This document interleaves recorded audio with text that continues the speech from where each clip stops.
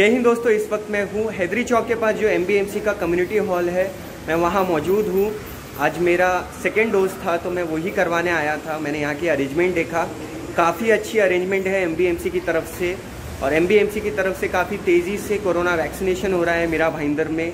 आपको पता होगा कि एमबीएमसी की तरफ़ से जो वैक्सीनेशन होता है, वो फ्री होता है, यानी मुफ़्त होता है। तो मेरा आज सेकेंड डोज था तो मैं वही करवाने एमबीएमसी के ये वैक्सीनेशन सेंटर में आया था जो हैदरी चौक के पास एम कम्युनिटी हॉल है वहाँ है। अगर आप हैं फ्राइड चिकन मील्स फ्राइज और इस प्रकार के खाने के शौकीन तो विज़िट करें मिस्टर फ्राइड चिकन स्क्रीन पर चल रहे एड्रेस पर। मैं आपको बता दूँ कि ऐसे बहुत सारे एम के वैक्सीनेशन सेंटर्स हैं जो कि मीरा भाईंदर के अलग अलग एरिया में स्थित है। साथ ही साथ अगर आपको कोविड 19 वैक्सीनेशन सेंटर की डिटेल्स चाहिए इसकी जानकारी चाहिए तो मैं डिस्क्रिप्शन बॉक्स और कमेंट बॉक्स में एक लिंक पोस्ट कर रहा हूँ हमारे व्हाट्सएप ग्रुप की। वहाँ मैं रोज़ अपडेट करता हूँ कोविड नाइन्टीन वैक्सीनेशन के संबंध में, उसकी डिटेल्स के संबंध में। साथ ही साथ मैं वहाँ कोरोना की रिपोर्ट भी पोस्ट करता हूँ तो आप वो भी देख सकते हो। अगर आपको इस, इन सब चीज़ की डिटेल्स चाहिए तो आप ज़रूर वो ग्रुप को ज्वाइन करिए।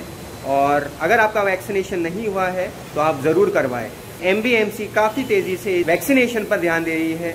और इसी का मुझे लाइव सबूत आज एमबीएमसी के हैदरी चौक के पास जो एमबीएमसी कम्युनिटी हॉल में जो वैक्सीनेशन सेंटर है, उसमें देखने मिला। अंत में मैं बस आप सबसे यही कहूँगा, ईश्वर गॉड, अल्लाह भगवान, आप सबको सलामत रखें, आप सब अपना ख्याल रखें, सभी को दुआओं में याद रखें। थैंक यू सो मच अगर आप हैं फ्राइड चिकन मील्स फ्राइज और इस प्रकार के खाने के शौकीन तो विज़िट करें मिस्टर फ्राइड चिकन स्क्रीन पर चल रहे एड्रेस पर।